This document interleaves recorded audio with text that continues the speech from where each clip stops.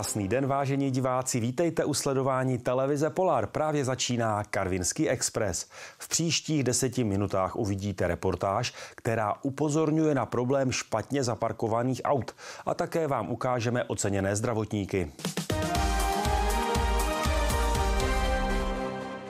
V Karviné v těchto dnech probíhá úprava rájecké remízy. Hlavním důvodem je zvýšení retenční funkce stávající nádrže a zvýšení protipovodňové ochrany níže položeného území. V Karviné probíhá v současné době navýšení hráze v rájecké remíze a také úprava jejího okolí. Výhodou navrhovaného řešení je zadržení povodňové přívalové vlny stoleté vody. Cílem těchto prací je vyčištění poldru, který se nachází tady po pravé straně. E, tento poldr byl e, byl plný sedimentů a náletové zeleně, proto dochází k jeho prohloubení. Poldr byl sice prohlouben, ale záměrem města je nechat ho v přírodním stavu, tak aby zde mohli žít oboživelníci a další drobní živočichové. Stávající regulační a otokový objekt je tvořen z monolitického betonu a protože došlo k navýšení celé hráze, musel být odstraněn původní chodník. Na místě původního chodníku vznikne samozřejmě nový, který bude mít betonové obrubníky a bude mít nové zábradly, které bude z oceli s pozinkovaným nátěrem. Momentálně sypem podkladní vrstvy pro chodník, podkladní kamen a na něj potom přijde asfalt. Jako vhodný materiál pro hutnění hrází byly vybrány zeminy hlinitopísčité. Nová konstrukce chodníku v koruně hráze bude připravena na pojezd vozidel do 12 tun. Součástí celého procesu bylo také nutné vykácení náletové zeleně. Náhradní výsadba je zajištěna. Bude vysazeno 20 jasanů zelenolistých. Celá hráz bude navýšena tak, aby zachytila stoletou vodu a tím pádem nedocházelo k zatápění oblastí směrem po toku Rajeckého potoka. Hráz je navýšena, je spevněna e, velkými kameny a je zasypána zeminou. Podél toku hráze e, dochází v Rajecké remíze také k úpravě chodníků. Tyto chodníky jsou také navýšeny. Chodníky budou vhodné i pro projížďky na kolech i bruslích, budou mít nové veřejné osvětlení. V závěru celé akce budou provedeny i terénní úpravy. Celá akce je spolufinancována z operačního programu životního prostředí a bude ukončena začátkem prázdnin tohoto roku. Máme tady upozornění pro řidiče. Od pondělí 29. května začnou práce na rekonstrukci ulice Rudé armády. Práce na silnici jsou rozděleny do několika etap. Aktuálně od pondělí do 16. června je plánovaná úplná uzavírka mezi ulicí Žižkova a okružní křižovatkou ulic Havířská a Leonovova. Dojezd zůstane zachován do areálu firem i stavebnin a k čerpací stanici. Vždy alespoň z jedné strany, jen s drobnými výjimkami při samotné pokládce. Po úspěšném prvním loňském ročníku sportovní akce nazvané Revírní pohodová padesátka se v Karviné uskuteční letos další ročník. Konat se bude v neděli 25. června. Registrovat se mohou zájemci na webu poho50.cz. Na startovní čáru se může postavit úplně každý. Tratě jsou připraveny pro každou výkonnostní úroveň a i letos si budou moci zaběhat děti.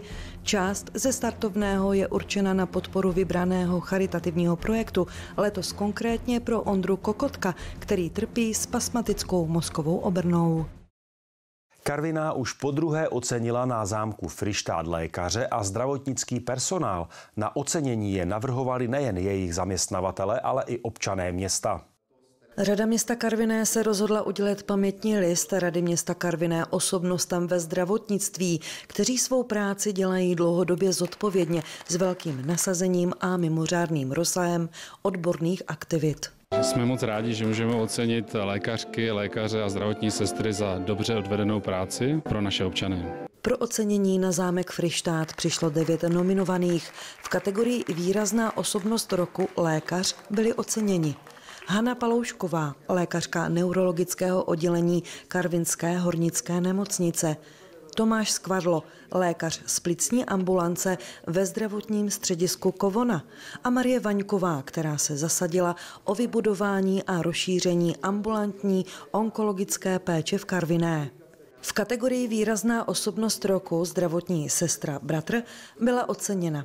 Jiřina Mistrová, která pracuje od roku 1970 v Karvinské hornické nemocnici v odbornosti neurologie jako všeobecná zdravotní sestra a Pavlína Jadamíková, vrchní sestra urgentního příjmu nemocnice Karviná Ráj. Zdravotnictví pracuji od doby, kdy jsem ukončila střední zdravotnickou školu v Karviné. Je to hrozně dávno, je to minulé století, 35 let, co letos už pracuji.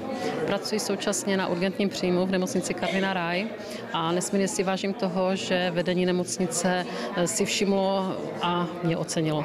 Práce ve zdravotnictví je určitě náročná, já ji dělám velice ráda, naplňuje mě a v podstatě, jak vidím, odcházet z nemocnice spokojeného pacienta, ale zároveň i spokojené zdravotní sestry, veškeré sanitáře, sanitářky, lékaře, s kterými spolupracujeme, tak z toho nesmírně vážím a mám z toho radost. V kategorii ocenění za dlouholetou činnost v oboru byli navrženi a oceněni Januš Kubátko, zástupce primáře interního oddělení a vedoucí lékař hemodializačního střediska nemocnice Karviná Ráj, Jana Kuligová, vrchní sestra centrálních operačních sálů Rájecké nemocnice – Helena Smetanová, dětská lékařka, která nehledí na ordinační hodiny a je vždy a v každé situaci ochotná pomoci. A Zdeňka Cibulková, lékařka radiodiagnostického oddělení Karvinské hornické nemocnice. Já pracuji ve zdravotnictví 41 let, téměř bude to v září. Nastoupila jsem na radiodiagnostické pracoviště i když jsem to nikdy dělat nechtěla, ale práce se mi zalíbila, zůstala jsem tam a musím říct, že ji pořád dělám ráda, což považuji za velké takové životní štěstí, protože si myslím, že to je fajn, když člověk chodí do práce, protože ho baví a že ji dělá rád. Ocenění je pro mě jako překvapením, protože prostě nemám pocit, že bych dělala něco naprosto výjimečného. Prostě dělám svoji práci tak, jak ji nejlépe umím a dělám ji ráda. Jsem ráda, že to takhle vnímá i můj zaměstnavatel. Tradičně Karviná oceňuje nejen zdravotníky, ale i nejlepší pedagogy, osobnosti v kultuře, sportovce, sociální pracovníky i nejlepší žáky základních škol. Při stavbě panelových domů se v minulosti nepočítalo s vysokým počtem aut, která pak sami řidiči hlavně o víkendech nebo večerních hodinách mají problém zaparkovat. Denně tak řidiči parkují na zákazech zastavení a stání a hasičům pak činí průjezd k místu zásahu problémy.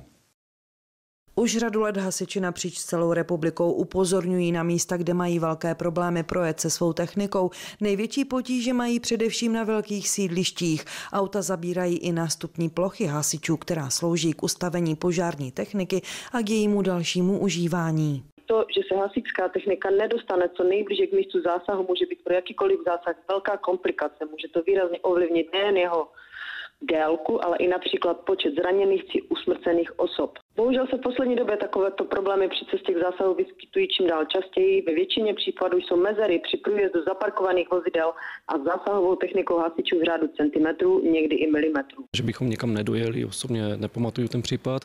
Pokud narazíme na problém, tak opravdu snažíme se najít alternativu, jak co nejrychleji dojet k tomu, k tomu danému místu. Čas od času hasiči také průjezdnost ulic preventivně zkouší a snaží se špatně parkující řidiče upozornit na problém. Během roku se snažíme objíždět problematická místa, sídliště ve večerních hodinách, odpoledních hodinách a upozorňovat řidiče a vlastníky automobilů na nevhodně zaparkované automobily, aby si byli vědomí toho, že opravdu technika hasičů potřebuje více místa pro průjezd. Parkovat by řidiči neměli ani na nástupních plochách pro hasiče, které jsou umístěny v blízkosti bytových domů s výškou nad 12 metrů, což odpovídá zhruba pěti a více poschodové budově.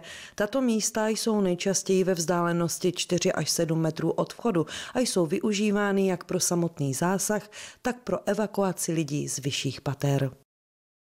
Jsme na konci. Díky za pozornost a naviděnou příště.